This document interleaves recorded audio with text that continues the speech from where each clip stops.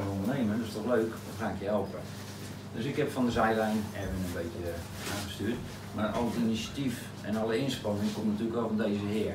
Dat was vanaf december, nou tussendoor uh, hebben we hoogtepunten en dieptepunten gehad. Toen, ik kwam net uit Portugal terug, ik liep over de brug en ik kreeg net een appje, ja ik zie het niet meer zitten. Ik zei, nou ben we in vijf minuten voor je deur, toevallig. Hè?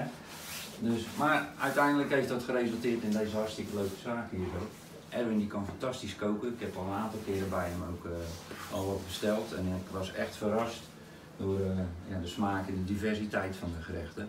En laatst heeft hij ook nog bij de Chinese Nanking voor een hele grote 150 man. Nee, 60, 60. Oh, 60.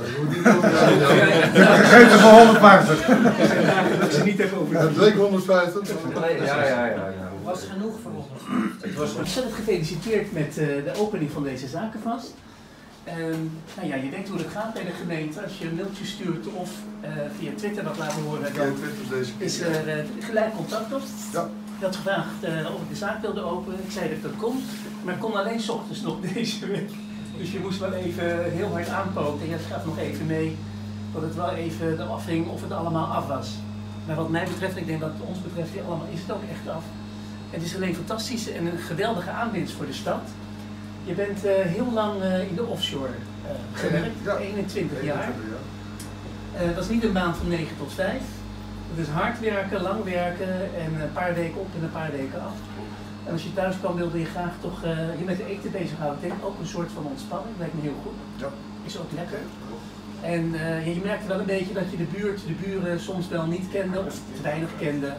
En toen ben je een beetje ook gaan koken voor hen om, ja, dat we zeggen, eten verbroederd. Uh, dat heeft wel wat bijgebracht. Via thuisafgehaald.nl heb je ook gezorgd dat je bekendheid kreeg dat mensen bij jou gerechten konden bestellen. Mm -hmm.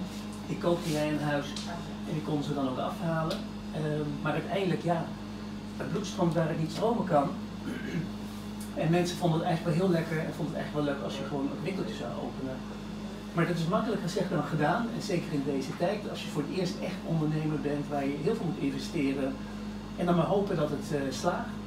Uh, nou, dat laatste, dat weet ik zeker dat het gaat lukken. En die investering die komt ook alweer eruit, want uh, dit is iets prachtigs voor de stad. We hebben er niet veel van. Maar we zijn als Middelburg wel bekend om die kleine winkeltjes hier. door de hele stad heen.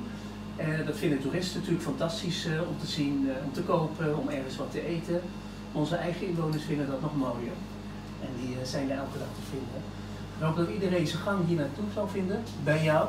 En uh, dat we nog lang uh, van jou mogen genieten. En vooral ook van al je mooie gerechten. Ik wens je heel veel succes. Dankjewel. De vegetarische gerechten tussen, er zitten vlees- en visgerechten tussen. Dus uh, dat is maar smaak.